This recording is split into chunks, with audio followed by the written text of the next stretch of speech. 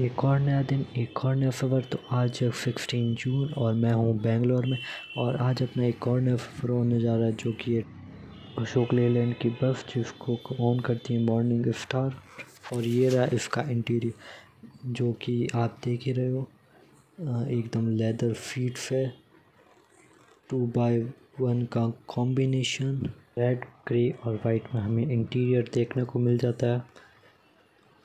और यहाँ पे ये एसी वेंट्स और फुल एसी बस है ये। ये हमारे डबल सीट है, क्योंकि मैं और मेरे भैया दो जने ट्रेवल कर रहे थे। और यहाँ पे ऊपर एसी वेंट्स ये गाइस तो दो दिन ही हुए थे मुझे बेंगलोर आए हुए हैदराबाद से, और आज फिर से मैं जा रहा हूँ हैदराबाद, क्योंकि कंपनी का फिर से काम है। एक और अपनी बस जर्नी और ये बस हमने भी स्टार्ट की और कंपनी अशोक लेटेड की बस है और इंटीरियर तो आपको दिखाई चुका हूँ।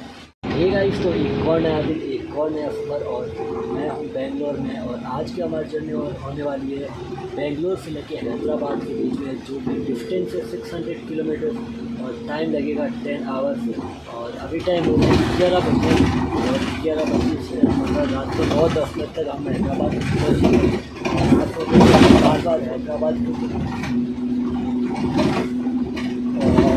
बार बार मेरे इतने कैसे आ रहे क्योंकि हमेशा ट्रिप्स आते थे बैंक मतलब बीकानेर, जोधपुर, वही ट्रिप होते रहते थे। जो और इस बार एक नए रूट्स आ रहे हैं, अलग जर्नीज आ रही है, अलग बस जा, बस ब्लॉक्स आ रहे हैं, ट्रेन ब्लॉक्स आ रहे हैं, और ये सब कुछ मतलब स्पॉन्सर्ड है बाई कंपनी जिसमें मैं वर्क करता हूँ। और मतलब उन्हीं के बदौलत ये सारे खर्चे वगैरह उठाए जा रहे हैं क्योंकि सारा रहना खाना खाना पीना सब उनका ही होता है।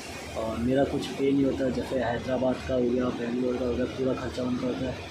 और अपने को ट्रैवल करने को, अब मेरा वर्क भी रहता है क्योंकि ऐसे ही तो कोई खर्चा उठाएगा नहीं, मुझे उनका काम भी हैदराबाद में अब मेरा दो तीन दिन का काम है।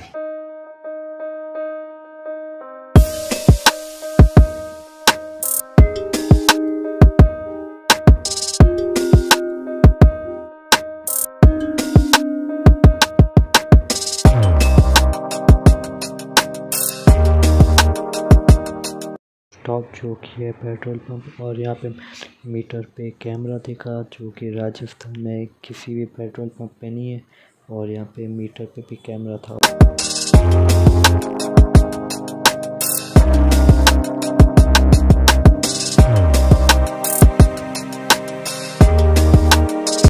बैठे थे ग्यारह बजे और अभी टाइम हो रहा है दो बज रहे हैं और अभी तक हमने बेंगलुरु की की बॉर्डर भी पार नहीं की मतलब तीन घंटे में हार्डली चालीस से पचास किलोमीटर क्रॉस किया। अभी तक यहाँ से हैदराबाद है, अभी तक यहाँ से हैदराबाद पाँच सौ साठ किलोमीटर है।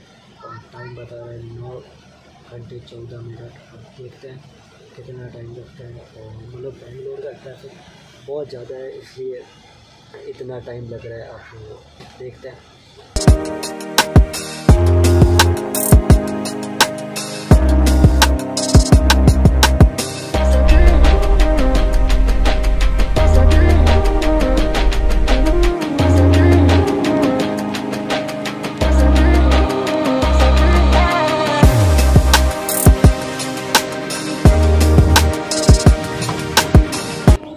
गाइस तो अभी हम एंटर हो चुके हैं आंध्र प्रदेश के बॉर्डर में और मतलब हमने कवर कर लिया 200 किलोमीटर और काफ़ी टाइम लगा दिया क्योंकि दो घंटे तो फिर बेंगलोर से बाहर निकलने में ही लगा दिए थे बसें और मेरे पीछे खड़ी है मॉर्निंग स्टार की अशोक लेलैंड की बस। और अभी हमें नेशनल हाईवे 44 और पीछे टोल प्लाजा मतलब काफ़ी दूर से करीब करीब चार पाँच घंटे के बाद में जाके पहला ऑल्टो लिया है। भी काफ़ी लगी है।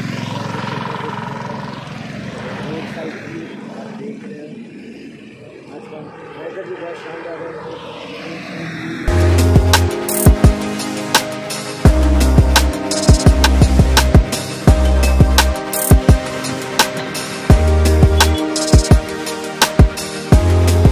फ्रेंड्स तो अपना हो चुका है। तो आप ने अब खाना खा लिया है और अब बस निकलने वाली है।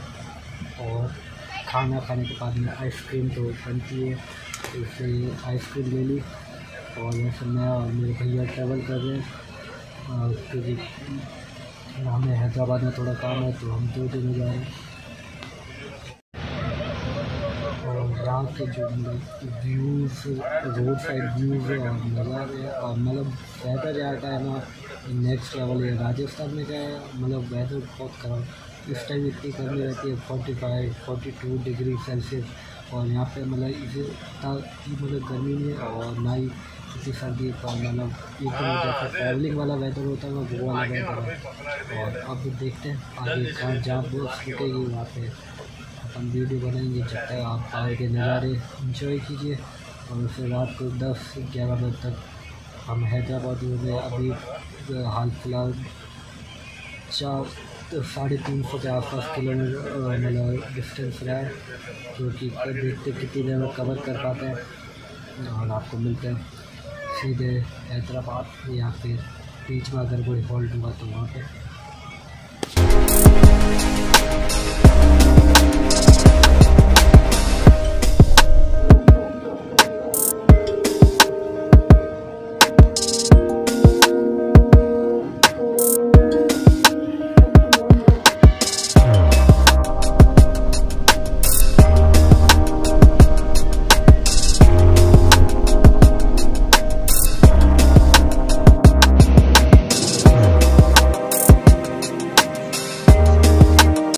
अपना एक और सफ़र होता है यही खत्म फाइनली चौदह घंटे की जर्नी करके हम आ चुके हैं हैदराबाद।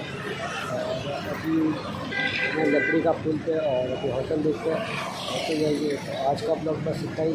तो कभी हार फाइनली और आगे बढ़ते